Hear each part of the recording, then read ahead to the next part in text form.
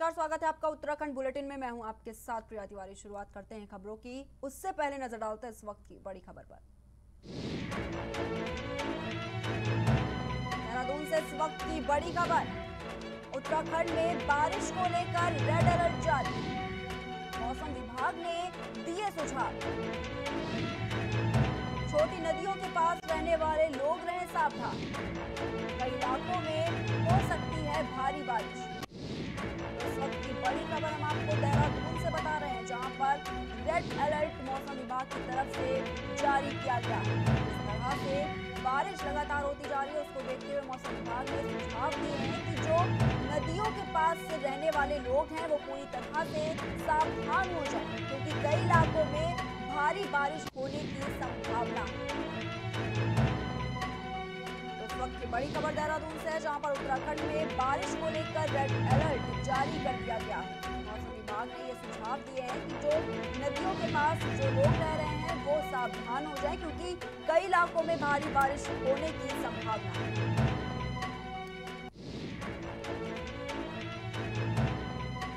बड़ी खबर सामने आ रही है। इस वक्त की देवस्थानम बोर्ड के विरोध में फिर भड़की चिंगारियाँ। तीर्थ पुरोहितों ने आंदोलन का ऐलान किया है।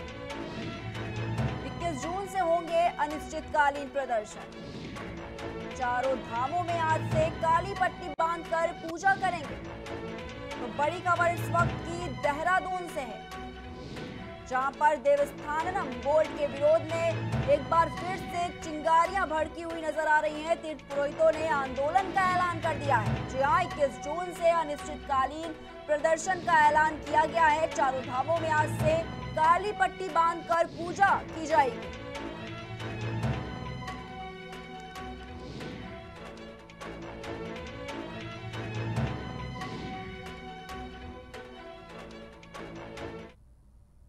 वहीं पर नज़र डालते हैं इस वक्त की टॉप हेडलाइंस पर।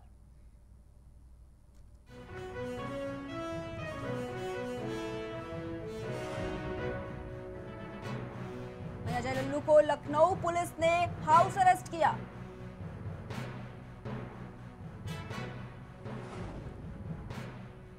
देश में लगातार चौथे दिन एक लाख से कम आए कोरोना के केसेस।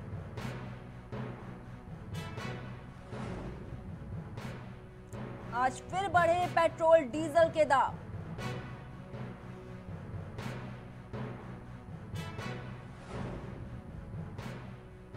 सेंसेक्स एक अंकों की उछाल के साथ खुला है।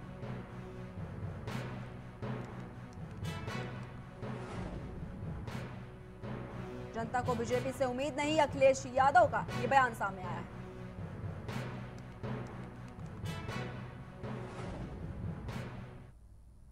नज़र आते हैं उत्तराखंड की खास खबरों की तरफ़। रुड़की में भारतीय जनता पार्टी व पंजाबी कल्याण महासभा की ओर से वैक्सीनेशन कैंप का आयोजन किया गया। इस वैक्सीनेशन कैंप में इलाके के लोगों ने बढ़ चढ़ के हिस्सा लिया। मौके पर पूर्व जिला उपाध्यक्ष, वरिष्ठ समाज सेवी संजय अरोड़ा ने बताया कि इस कैंप के आयोजन में 45 साल से अधिक वर्ष के लोगों को वैक्सीनेशन किया जा रहा है और प्रथम डोज उनको लग चुकी है और अब उनको चौरासी दिन के बाद वैक्सीनेशन कैंप में निशुल्क दूसरी डोज लगाई जा रही है। वहाँ पर आए सभी बुज़ुर्ग व्यक्तियों ने इस कैंप के द्वारा लोगों को बड़ी राहत मिली है। भारतीय जनता पार्टी, पंजाबी कल्याण महासभा, रुड़की विकास मंच और टीम जीवन के सहयोग से आज हमारा चौथा कैंप यहाँ गणेशपुर में हमने साई प्लाजा में लगाया है। पहला जो आर टी और वैक्सीनेशन कैंप हमने पहला लगाया था, वो रामनगर में, बारातगढ़ में लगाया था। दूसरा कैंप हमने केवल वैक्सीनेशन के लिए लगाया था 45 प्लस वालों के लिए था वो भी। वो हमने हर मिलाप धर्मशाला साकेत में लगाया था। तीसरा कैंप हमारा जो लगाया गया था, वो सिविल लाइन्स में प्रेम मंदिर में लगाया था। आज ये जो कैंप लगा है 45 प्लस वालों के लिए और जिनके दिन चौरासी हो गए हैं दूसरी डोज के लिए, उनका कैंप ये आज गणेशपुर साइड वहीं रुद्रप्रयाग में डीएम मनोज गोयल ने उद्यान विभाग के साथ मिलकर हार्टी टूरिज़्म का निरीक्षण किया। आपको बता दें कि उद्यान विभाग द्वारा इस नर्सरी में विभिन्न प्रजाति के फलदार पेड़ पौधे लगाए गए थे और निरीक्षण के दौरान डीएम ने विभाग के इस काम की तारीफ़ की। डीएम ने कहा कि नर्सरी में लगाए गए इस पेड़ों से किसानों को काफ़ी ज़्यादा लाभ मिलेगा। जानकारी देते हुए डीएम ने बताया कि इलाके में टूरिज़्म को बढ़ावा दिया जाएगा, साथ ही सौंदर्यीकरण के काम को भी तेज़ी से बढ़ाया जा रहा है। जिला उद्यान अधिकारी योगेंद्र सिंह चौधरी को निर्देश दिए गए हैं कि इलाकों में मॉडल ट्रेनिंग सेंटर भी विकसित किया जाए।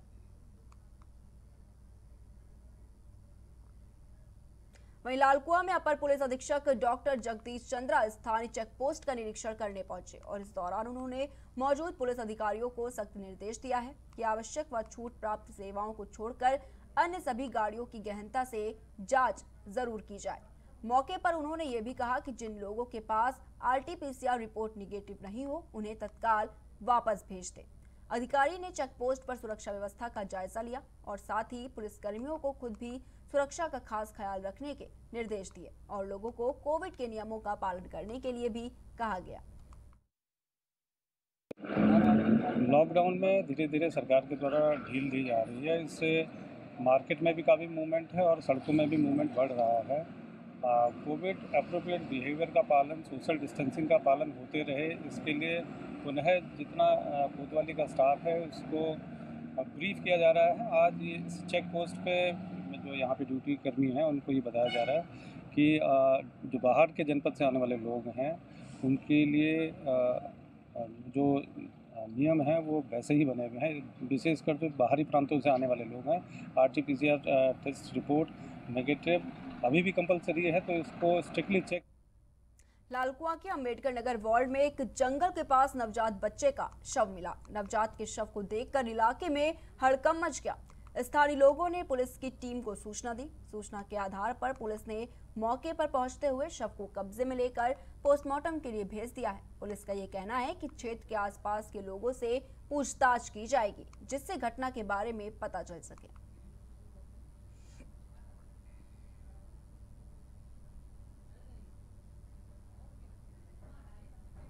वहीं कलियर में विजिलेंस विभाग को सफलता हाथ लगी है। दरअसल विजिलेंस टीम को दरगाह में तैनात एक कर्मचारी के ज़रिए शिकायत मिली थी कि दरगाह प्रबंधक रिश्वत की मांग करता है। आरोप है कि आरोपी प्रबंधक दरगाह कर्मचारी से तनख्वाह बनाने और उसे फिर से नौकरी पर रखे जाने के नाम पर रिश्वत ले रहा था।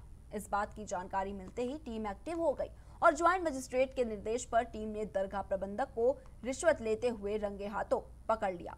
विजिलेंस सीईओ सुरेंद्र सामंत ने बताया कि प्रबंधक को दस हज़ार की रकम के साथ हिरासत में लिया गया है।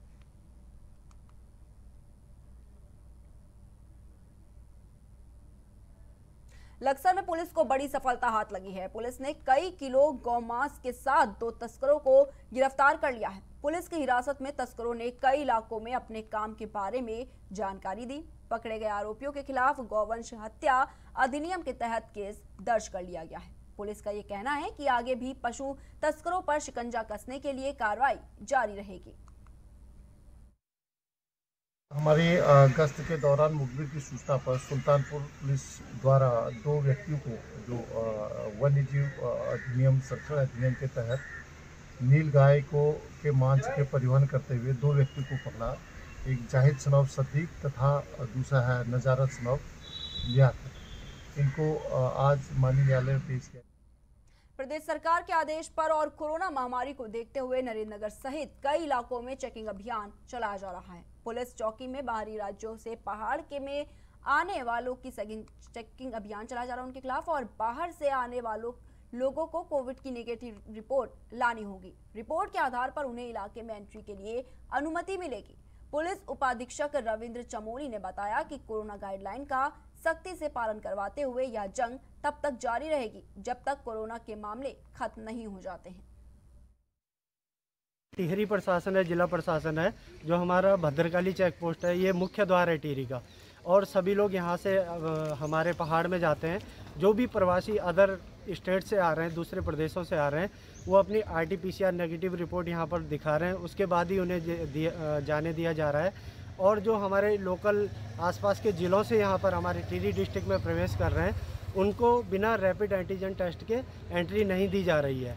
और चाहे कोई कहीं से भी लोकल या एक दिन के लिए भी कहीं पे जा रहा है तो बिना रैपिड टेस्ट के वो ज़िले में प्रवेश नहीं कर पा रहा है। और ये यहाँ पे बहुत अच्छा है, जिससे हम पहाड़ों में अपने संक्रामक बीमारी को रोक सकते हैं और अपने लोगों को पहाड़ में बचा सकते हैं।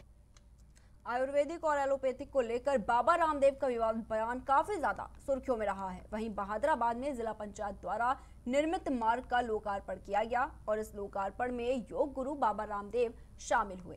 यहाँ मंत्री अरविंद पांडे भी शामिल हुए। योग गुरु बाबा रामदेव ने कहा कि आज सालों की प्रतीक्षा पूर्ण हुई है। योग ग्राम में भारत से नहीं, बल्कि पूरी दुनिया से लोग आते हैं और मैं भी पिछले एक साल से योग ग्राम में हुई हूँ और इसीलिए मेरे द्वारा पंचायती राज मंत्री अरविंद पांडे से निवेदन किया गया था कि जब यहाँ पूरी दुनिया से लोग आ रहे हैं और यहाँ की सड़क बहुत ही ज़्यादा उबड़ खाबड़ है, इसीलिए यहाँ आने वाले सभी नागरिकों को खास दिक्कतों का सामना करना पड़ता है। अब जाकर यहाँ रोड का काम पूरा किया गया है। काम होते हैं, वो जनहित के लिए किए जाते हैं। और योग काम जिसका हिंदुस्तान नहीं, विश्व के अंदर जिसका नाम है। और विश्व के कोने कोने से लोग यहाँ अपने इलाज के लिए आएँ, बाबा जी से आशीर्वाद लेने के लिए आएँ। और वहाँ की सड़कें टूटी फूटी ना हो, इससे कहीं ना कहीं उत्तराखंड की छवि भी खराब होती है। तो हम लोगों के संज्ञान में आया, और बाबा जी ने तो सड़क के लिए कहा भी नहीं था इन्होंने। इन्होंने तो कभी भी नहीं कहा। हम एक दो बार आए, हमको लगा कि देश के कोने कोने से लोग यहाँ आते हैं। तो यहाँ की उत्तराखंड की छवि अच्छी लेके जाएँ। इस निमित्त हमने जिला पंचायत को निर्देशित किया और हमारे डिपार्टमेंट ने सड़क को बनाया। मैं अपने डिपार्टमेंट के सभी अधिकारी कर्मचारियों को मैं धन्यवाद दूँगा। और मैं कोविड काल के दौरान सब लोग स्वस्थ रहें, आप लोग भी स्वस्थ रहो। मैं शुभकामना देता हूँ। यहाँ योगाग्राम निरामयम में भारत से लेकर के दुनिया के 50 से ज़्यादा देशों के नागरिक आते रहे हैं। और पिछले एक साल से मैं यहाँ पर था। माननीय श्री पांडे जी को मैंने कहा कि जब सारी दुनिया यहाँ पर आ रही है तो ये बहुत उबड़ खाबड़ रोड है और यहाँ पर आकर के लोगों को काफ़ी कष्ट हो रहा है। तो इस कोरोना की महामारी के काल में भी एक तरफ़ जहाँ स्वास्थ्य सेवाओं का दबाव था, उन अपने स्वास्थ्य सेवाओं के उत्तरदायित्व को पूरा करते हुए भी ये समृद्धि के कार्यों को प्रगति दी और स्वास्थ्य और समृद्धि का एक समन्वय करते हुए यहाँ पर आज ये रोड बनने से मुझे बहुत प्रसन्न वहीं लालकुआ कोतवाली क्षेत्र में तीन युवतियों को काम के बहाने स्विमिंग पूल पर ले जाकर दो लोगों द्वारा उसके साथ दुष्कर्म करने का मामला सामने आया है। पुलिस ने पीड़िता की तहरीर पर मुकदमा दर्ज कर लिया है और जाँच भी शुरू कर दी है। पीड़ित युवतियों ने बताया कि आरोपी उनको काम के बहाने वाटर पार्क ले गए, जहाँ उन्होंने इस घटना को अंजाम दिया। जब युवतियाँ आरोपियों के चंगुल से बचने का प्रयास कर रही थी, तब उनके बीच मारपीट भी हुई। आपको बता दें कि घटना स्थल पर मौजूद लोग मूक दर्शक बने रहे और पीड़िता की तहरीर पर पुलिस ने मुकदमा दर्ज कर लिया और साथ ही आरोपियों की तलाश भी शुरू कर दी है।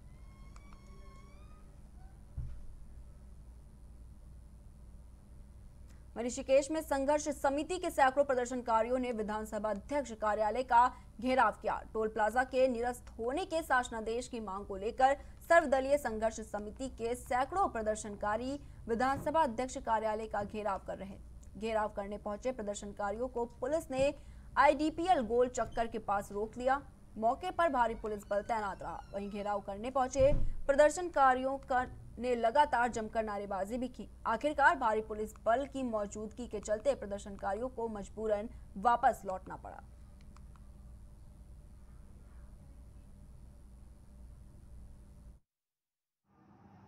हमारा मुख्य रूप से विधायक जी से, विधानसभा अध्यक्ष जी से जवाब मांगना है कि वो एक पत्र तो हमें दे दीजिए जो आपने घोषणा करी, उसका एक पत्र दे दिए। क्योंकि हमें विधायक जी की बात का विश्वास नहीं है। चाहे वो सिरदेव सुमन विश्वविद्यालय की बात हो, चाहे संजय झील की बात हो, चाहे अंडरपास की बात हो, हरिपुर अंडरपास की, चाहे विस्थापित की सड़कों की बात हो, सब बातों में लगातार झूठ बोलते हुए हैं। इसलिए उनकी बरबली बातों में हमें कतई विश्वास नहीं है। जब कोई सरकार जब कोई जनप्रतिनिधि जनता की अवहेलना करना लगता है और सुप्त अवस्था में आ जाता है, जनता के बीच इतना बड़ा आंदोलन हो रहा है और क्षेत्रीय विधायक ने बिल्कुल अनसुना कर दिया। उनको कोई चिंता नहीं है क्षेत्र में इतना बड़ा आंदोलन हो रहा है।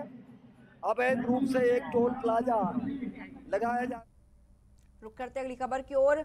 रुड़की के पुरानी तहसील में अज्ञात बदमाशों के हौसले बुलंद दिखाई दे रहे हैं। अज्ञात बदमाशों ने एक अधिवक्ता की गोली मारकर हत्या कर दी।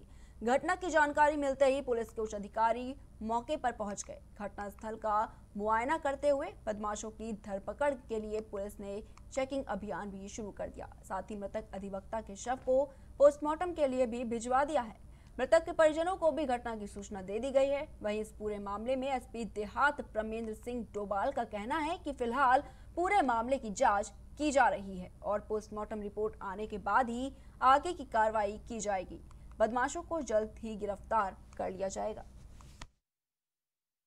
अभी हमें सूचना प्राप्त हुई है कि गंगनहर क्षेत्र के अंतर्गत ये राव उस्मान एडवोकेट साहब हैं इनके गोली मार के हत्या की गई है। अभी हम लोग यहाँ हॉस्पिटल में आए हैं। और इसमें जो भी लोग इसमें शामिल हैं या जो भी हैं, उनके हम जल्दी अरेस्टिंग भी करेंगे और इसमें सुसंगत धाराओं में भी पंजीकृत सब लक्सर के सुल्तानपुर क्षेत्र में पुलिस को बड़ी सफलता हाथ लगी है। पुलिस ने पशुओं के तस्करों को गिरफ़्तार कर लिया है। आपको बता दें कि पुलिस दो तस्करों को गिरफ़्तार कर लिया और जबकि एक फरार हो गया है। पुलिस ने तीनों अपराधियों के खिलाफ मुकदमा दर्ज कर लिया है और पुलिस फरार हुए आरोपियों की तलाश में जुटी हुई है। हमारी गश्त के दौरान मुख्य की सूचना पर सुल्तानपुर पुलिस द्वारा दो व्यक्तियों को जो वन्य जीव अधिनियम संरक्षण अधिनियम के तहत नील गाय को के मांस के परिवहन करते हुए दो व्यक्तियों को पकड़ा। एक जाहिद सनौब सदीक तथा दूसरा है नज़ारा सनौब लिया इनको आज मानी रुड़की पुलिस को बड़ी कामयाबी हाथ लगी है। पुलिस ने स्मैक समेत चोरी की शायद बाइकें बरामद की हैं और दो आरोपियों को भी पुलिस ने गिरफ़्तार किया है। आपको बता दें कि एसएसपी के आदेश पर नशे के खिलाफ लगातार अभियान चलाया जा रहा है। इसी अभियान के तहत भगवानपुर पुलिस ने हल्लू मजरा तिराहे पर बाइक सवार दो व्यक्तियों को रोका, जिनके पास से 48 ग्राम स्मैक के साथ ही चोरी की बाइकें भी बरामद की गई हैं। पुलिस ने दोनों आरोपियों को गिरफ़्तार कर लिया है और उनके खिलाफ मुकदमा भी दर्ज कर लिया है।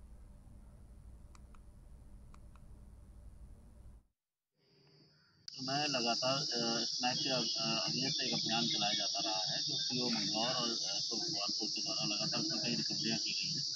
कल भी एक सूचना प्राप्त हुई थी, जिसमें जो यहाँ पर एक मेन जो किंगपिन था नासिम जो यहाँ पर काफ़ी समय से काम कर रहा था और पुलिस की से जो था से नाम था। ये सूचना थी कि वो मोटरसाइकिल से आ रहा है, उसके ऊपर सामग्री है। तो जब सी और इनके द्वारा जब चेकिंग करेगी सी और एस के द्वारा तो इससे अड़तालीस ग्राम हमें स्नैक मिली और इसमें इससे जब और पूछताछ की गई थी तो सात जो मोटरसाइकिलें स्वास्थ्य विभाग ने शफकत अली, चेयरमैन प्रतिनिधि अध्यक्ष के कैंप कार्यालय मुकरबरपुर में विशेष कैंप लगवाया, जहाँ चेयरमैन अध्यक्ष का टीकाकरण का कार्यक्रम का शुभारंभ किया गया और 45 साल वालों को टीकाकरण लगवाने की व्यवस्था की गई और उन्होंने लोगों से भी कोरोना का टीका लगवाने की अपील की है।